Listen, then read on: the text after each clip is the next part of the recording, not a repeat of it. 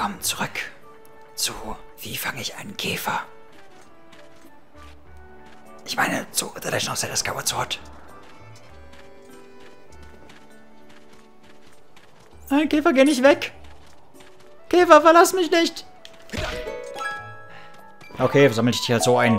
Na, ich wollte gerade schön das Wolkenkäfer-Dingens, äh... Wie guckt liegt denn da immer? Das geht doch nicht. Egal, ich wollte halt einfach mal kurz das Käfernetz zeigen, aber irgendwie habe ich keine Käfer so spontan gefunden. Fand ich sehr schade, bis auf den. Aber wenn ich mich richtig erinnere, gab es hier manchmal auch einen Käfer. Hat wohl gerade keine Lust rauszukommen. Na gut. Ah, hier. Okay, ganz vorsichtig. Perfekt. Du hast einen Himmelsanbeterin gefangen. Mit seinen starken Greifarmen macht dieser Insekt Jagd auf seine Beute. Es lebt gerne in lüftigen Höhen. Macht Sinn, wenn es im Himmel anzutreffen ist. Ja. Okay, dann geht's. Entschuldigung, Fei, ich wollte dich gerade nicht rufen, aber danke, dass du an mich denkst und direkt erscheinst, wenn ich das so will. Ja. Na gut, dann suchen wir jetzt mal nach Cookie, würde ich sagen. Und der erste Hinweis, den wir halten, ist von diesem Typi. Hey Link, was, du warst in Terrys Laden? Pah, du doofer Angeber. Cookie? Wir haben neulich beim Friedhof zusammengespielt. Ah, meine Mama hat mich gerufen. Ich bin, äh, äh, als meine Mama gerufen hat, bin ich nach Hause gerannt. Was ist denn passiert? Äh, ja, alles klar. Oh, da drüben ist so ein Friedhof. Vielleicht sollten wir da mal gucken. Später. Später, später, später. Das will ich gerade nicht. Chip, ich will fliegen.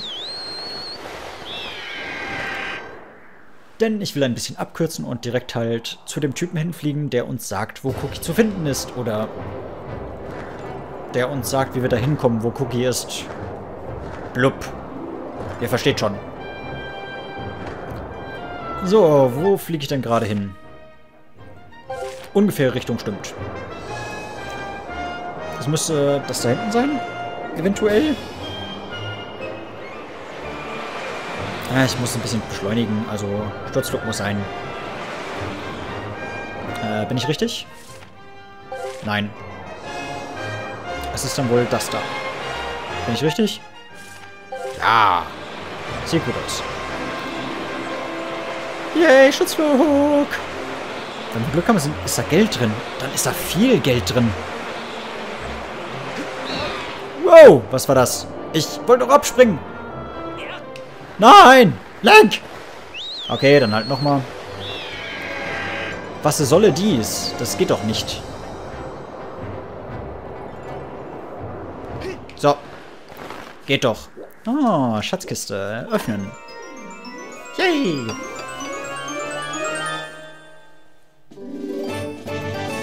Wow. Okay, damit hat ich wirklich nicht gerechnet. Aber okay. Das ist cool. Noch zwei Herzteile. Cool.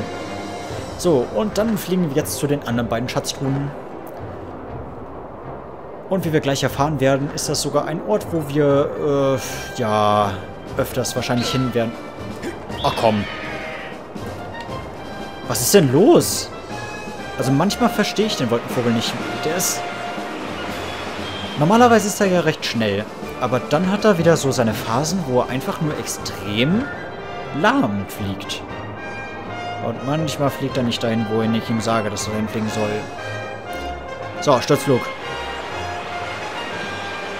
Ja, ja, ja. Sehr gut, sehr gut, sehr gut, sehr gut. Das gefällt mir. Ja. Oh yeah.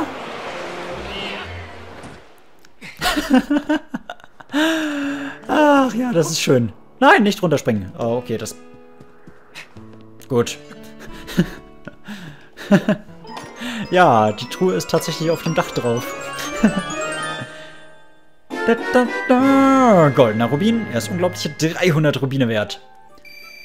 Leute, merkt euch das. In Skyward Sword solltet ihr unbedingt, wenn ihr diese Truhen aufmacht, genügend Platz da haben. Ihr verschenkt beziehungsweise ihr könnt sehr, sehr, sehr schnell sehr viele Rubine verschenken. Und später freut man sich dann halt doch mal darüber, dass ein paar Rubine da sind. Egal. Machen wir mal einfach diese Truhe auf und gucken, was drin ist. Es ist eine Abenteuertasche.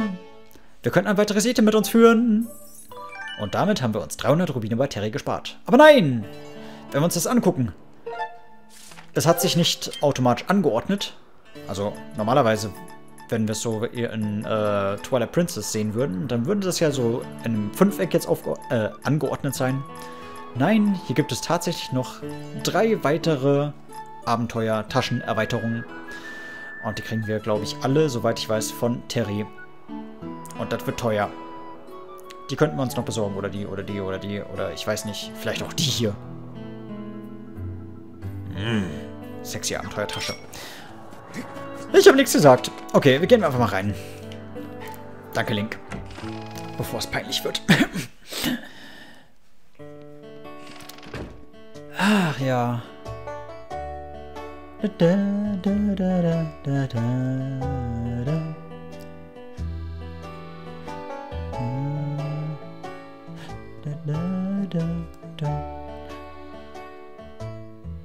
Das ist doch das Lied, was dann auch später gesungen wird.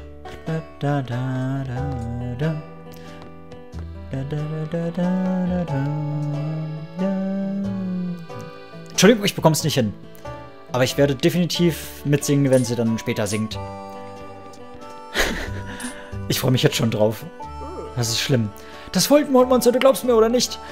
Eigentlich ist es gar kein Monster, sondern ein Dämon und niemand überlegt die Begegnung, äh, überlebt die Begegnung mit ihm. Was, du willst wissen, ob ich schon mal gesehen habe? Äh, mir egal. Hey, unterbrich mich gefälligst nicht, während ich meine Geschichte erzähle. Wie dem auch sei, ich habe dieses Biest mit eigenen Augen gesehen und lass mir nichts anderes erzählen. Ich lief also gerade in der Nähe eines großen Baumes auf dem Friedhof mitten in der Nacht. Der Dämon schlug auf den Grabstein beim großen Baum, welcher sofort hell aufleuchtete. Dann schob er den Grabstein zur Seite und plötzlich öffnete sich die Tür zum Schuppen. Der Dämon, äh, Entschuldigung. Der Dämon ging hinein und schloss mit einer für seine Bestie ziemlich unübliche Eleganz die Tür hinter sich. Ich werde diesen Anblick meinen Lebtag nicht vergessen. Halt dich nachts vom Friedhof fern. Danke. So, und das war der entscheidende Hinweis, wie wir Cookie finden können. Und wer aufmerksam zugeguckt hat... Hallo Kapocha. Hallo, du. Du siehst wie ein Ritter aus dem Wolkenhort aus, habe ich recht? Nimm doch Platz und spann dich ein wenig. Oh, dir sind die Rubine an unserem Kronleuchter aufgefallen? Versuch bloß nicht die Rubine von dort oben herunter zu bekommen. Manche Leute behaupten, man könnte den Kronleuchter zum Schwingen bringen, indem man etwas anrempelt und die Rubine würden fallen. Aber wie dem auch sei, denk nicht mal dran.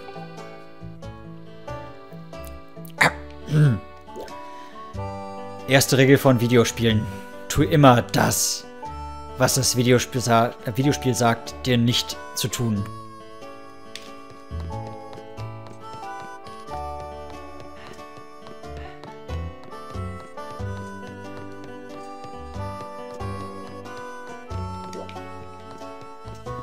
YOLO! YOLO!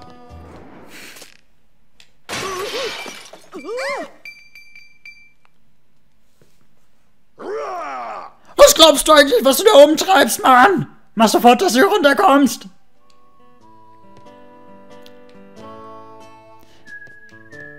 Link, was sollte das? Also wirklich. Ah, du bist doch dieser Strux, oder... Doch, du bist Strux. Struck, Stru, Stru. Oh nein, schau nur, was du für ein Chaos veranstaltet hast. Schätze, dafür gibt es einen Satz heiße Ohren. Ich glaube auch. Wenn ich mich nicht beeile, sind die Rubine weg. Aber davor noch das Herzteil mitnehmen. Und das stört irgendwie keinen, dass ich das einfach mal so mitgehen lasse.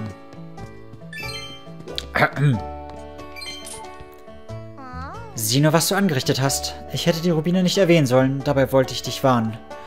Gib bloß nicht mir die Schuld, wenn dir mein Vater einen Standpauke hält. Du bist an allem schuld, Mann! Entschuldigung und so. Ich gehe da mal wieder. Tschüss. Äh, wo ist die Tür? Tschüss. Ich geh... Hey! Du glaubst doch wohl nicht, dass ich dich mit, nach dieser Aktion einfach so gehen lasse, oder? Hey, du glaubst doch wohl nicht. Blablabla, bitte gerade eben schon gesagt, Mann. Okay. Ich gehe ja schon. Ist es wirklich der richtige Zeitpunkt, um sich eine Pause zu gönnen? Hast du nicht etwas zu erledigen? Was meinst du denn? Ah. Meinst du, ich soll jetzt mit dir reden? Es ist das, was du willst. Fei, was ist das für ein Gegner? Dieses Biskur, der dickköpfige Besitzer der Kürbisbar, die er zusammen mit seiner Tochter führt. Die kräftigende und heilende Wirkung seiner Kürbissuppe ist im Wolkenhort bekannt und geschätzt. Alles klar? Na gut, dann... Es tut mir leid, Mann. Ich hab das doch nicht gewollt. Das war dieser komische Typ, der mich steuert. Das darf doch wohl nicht wahr sein. Was hast du getan, Mann? Mein handgefertigter Kronleuchter ist komplett ruiniert. Du wirst so lange für mich arbeiten, bis jeder einzelne Rubin, der in der Kronleuchter steckt, wieder abbezahlt ist. Nun, bist du damit einverstanden? Ja. Nun, ich werde dich an dieses Versprechen erinnern. Also gut, wie wäre es, wenn du als erstes dem Schwertmeister im Wolkenhort meine Suppe bringst? Er gehört zu unseren Stammgästen und meine Suppe gibt ihm Energie für den Unterricht. Also, wirst du ihm die Suppe bringen? Sicher, natürlich. Sehr schön, hier hast du etwas heiße Kürbissuppe. Bring sie dem Schwertmeister, aber hurtig! Na, worauf wartest du noch? Du hast heiße Kürbissuppe erhalten.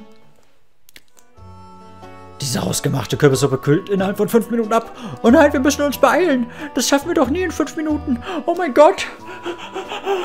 Ach, eine Sache noch kleiner. Der Schwertmeister äh, kann kalte Suppe nicht ausstehen. Du sollst mit der Lieferung etwas beeilen. Also los. Zack, zack. Mach hin, Mann. Ja, okay, ich lauf schon. Ja, wo muss ich hin? Ja, hier lang. Lauf, Link. Oh nein, wir haben nur fünf Minuten. Es ist so knapp. Ich komme in dieser Geschwindigkeit nicht klar, mit der ich diese Suppe dahin bringen muss. Chip! Ach ja, und jetzt beginnt halt eine kleine Nebenquest, die uns am Ende, glaube ich, sogar noch ein Herzteil beschert. Aber die können wir noch nicht, zumindest jetzt bis zum Ende durchmachen. Wir können ein bisschen was machen, aber noch nicht alles. Dazu fehlt uns nämlich noch ein Gegenstand. Und falls ihr euch wundert, warum ich gerade darauf zufliege, das werdet ihr gleich sehen. Gleich, gleich, gleich. Tschuh! Jupp, es ist ein Power Boost Teil. Dingenskirchen. Ja, so heißt das. Den Namen habe ich mir nicht gerade ausgedacht. Und weil wir cool sind, springen wir jetzt direkt vor dem äh, Dojo ab. Juhu! Und diesmal drücke ich meinetwegen auch den Paraschirm, Gleitschirm. Zup! Oh, hi Gross. Was gibt's denn? Hey. Hallo Link, weißt du denn schon, wo unsere Zelda ist? Oh, ich verstehe. Na dann streng dich an. Da fällt mir ein, ich habe eben Cookies Mutter hoch zum Tempel laufen sehen. Was sie wohl dort macht? Hä? Was sagst du da? Die kleine Cookie ist verschwunden? Wie schrecklich. Ich mache mich sofort auf die Suche. Du sollst noch äh, auch ein paar andere Leute fragen, ob sie vielleicht Cookie gesehen haben, Link. Ja, dafür, dass du dich sofort auf die Suche begibst, bist du gerade ziemlich äh, auf der Stelle stehend. Hüpp! Okay, dann bringen wir mal dem Schwertmeister seine Suppe und reden gleich mit dem Stein. Anscheinend hat er was zu sagen. Aber ich glaube, der sagt uns dann auch nur, dass wir mit dem alten Mann sprechen sollen. Beilung, Beilung! Hallo Link, übst du auch Fleiß mit dem Schwert? Hm? Das ist doch nicht etwa meine heißgeliebte Kürbissuppe. Der Besitzer der Kürbissuppe hat dich etwa gebeten, mir die zu bringen und du hast einfach so eingewilligt. Um ehrlich zu sein, nein, ich bin gezwungen worden. Oh, ich verstehe. Dabei habe ich ihn extra darum gebeten, mir jeden Tag meine Suppe zu bringen. Wenn ich nur einen Tag ohne diese Kürbissuppe leben muss, werde ich zum wilden Affen. okay. Ja, ja, ich übe fleißig mit dem Schwert. So, jetzt gehen wir in die Suppe. Einfach nur so mal zum zeigen, was alles geht. Genau so ist es, Mann. Na dann, her damit, aber hurtig. Niemals! Was bist du denn für ein Scherzbold? Würdest du, nicht, äh, wurdest du nicht gebeten, mit dieser Suppe zu bringen? Was soll denn das? Wenn du sie selbst nicht essen möchtest, dann bringen sie mir gefälligst eine neue. Aber wehe, wenn sie nicht heiß ist. Oh, dann raste ich aus. Okay, wir geben ihm schon seine Suppe. Aber es ist halt möglich. Und ich meine, wir haben jetzt gerade noch genug Zeit, nehme ich an. Genau so ist es, Mann. Ich bringe dir deine heißgeliebte Suppe. Bitteschön.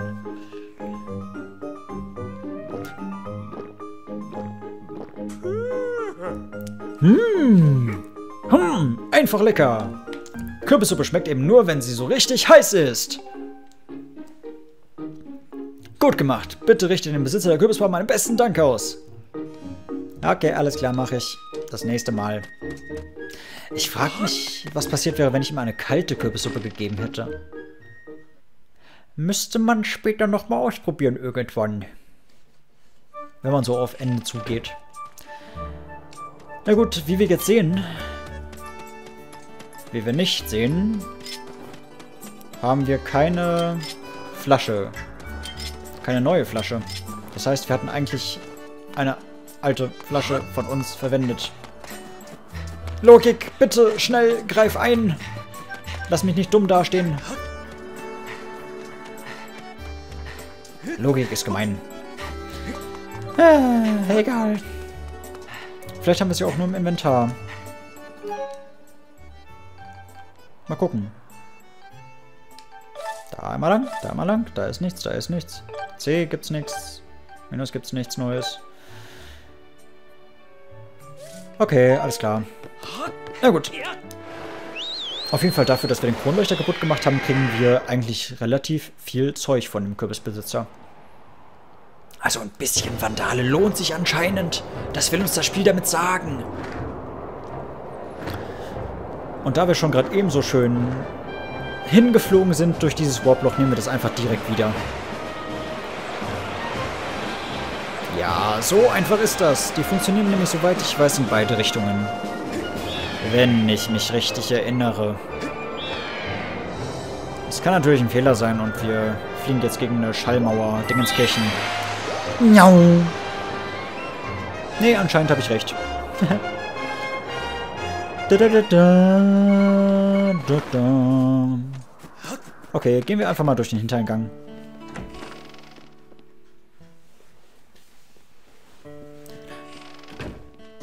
Ach, ja.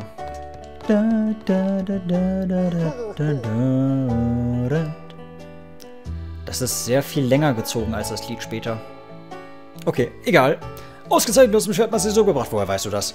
Nun, dann lass dich mal kurz über deine Schulden, über den kaputten Kronleuchter verrechnen. Äh, aber schuldenfrei bist du noch nicht. Äh, der findet schon neue Aufgaben für uns. Schau später wieder vorbei. Vielleicht machst äh, vielleicht bis dahin ja etwas eingefallen, blablabla. Ist dir bis jetzt was eingefallen? Okay. Naja. Das ist eine gute Idee. Ich kaufe einfach heiße Kürbissuppe bei dir. Äh, ja, ich nehme eine Portion mit. Na, endlich. Hier, bitteschön, Mann.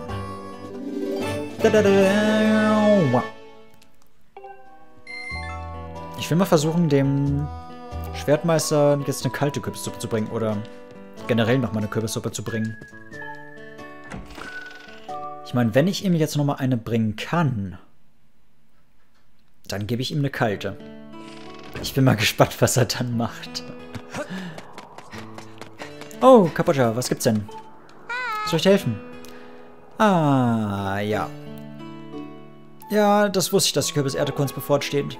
Ich muss zugeben, dass es mir recht schwerfällt, diese wuchtigen Dinger zu tragen. Dann ist doch eigentlich schon unsere nächste Aufgabe prädestiniert dafür. Ich spreche mal kurz mit deinem Vater. Vielleicht lässt er mich ja dann endlich in Ruhe. Hey hier, Typi, ich würde gerne im Feld arbeiten. Aber das ist doch eine tolle Aufgabe, oder nicht? Na, Anscheinend nicht. Na gut. Dann halt nicht. Ja, ich würde ja arbeiten, aber du lässt mich ja nicht. Ich würde gerne bei der Ernte helfen. Aber irgendwie hört ja niemand Link zu. Das ist schon seltsam, oder? Leute. Aber naja, Link ist das ja schon eigentlich längst gewöhnt. Auch wenn es ein bisschen schade ist. Naja, aber Leute, es ist mal wieder Zeit, den Part zu beenden und ich würde sagen, wir sehen uns direkt beim nächsten Mal. wenn die fünf Minuten um sind, direkt beim äh, Dojo-Meister, Schwertmeister wieder. Also Leute, bis dann und entschuldigt bitte den Cut und dass ein bisschen halt weggeschnitten wird. Denke ich. Oder nee, doch, ich lasse es drin. Kommt noch in diesen Part. Entschuldigung. Und dann gleich erst kalte Kürbissuppe und bla blub Zeug. Wir können ja auch erstmal schlafen gehen. Ich meine... Oh komm, Vogel, flieg. Ah, war das eine weise Entscheidung, das jetzt noch in den Part zu packen? Ich meine, da sind ja knapp zwei Minuten bis da hinten. Miau. Aber ich denke, schlafen wäre wirklich keine schlechte Idee. Ich meine, wir alle müssen schlafen. Und Link ist ja auch wie wir ein Mensch. Ein bisschen.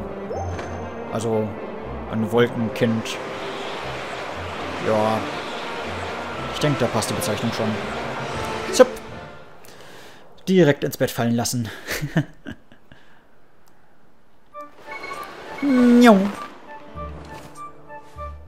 Saubere Landung. So, wir verschwinden dann erstmal im Bett und hoffen, dass da ein bisschen Zeit mit rumgeht. Oder wir gehen ein bisschen der Cookie Quest nach. Ja, ich denke, das machen wir. Ja. Aber das dann wirklich im ersten nächsten Part. Ciao, ciao.